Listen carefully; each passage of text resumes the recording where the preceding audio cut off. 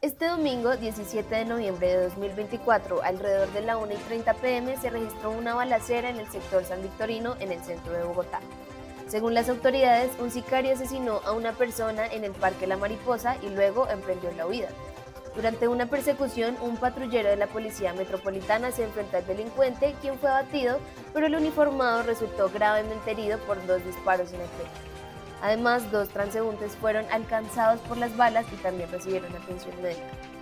El patrullero herido fue trasladado de urgencia al Hospital Santa Clara, donde su pronóstico es reservado.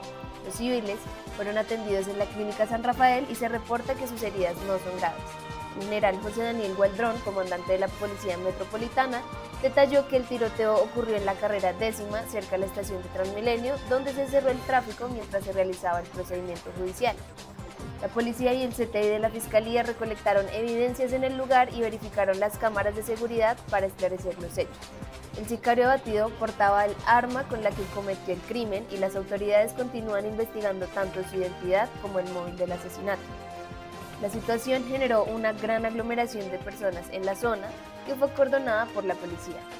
Mandos de la institución acudieron al hospital para apoyar al patrullero herido y brindar asistencia psicológica a su familia. Este hecho violento no es aislado. En el pasado, San Victorino ha sido escenario de varios crímenes, incluidos otros tiroteos mortales. Los residentes, comerciantes y visitantes piden mayor seguridad, especialmente porque Bogotá está cerrando 2024 con la cifra más alta de homicidios en los últimos ocho años.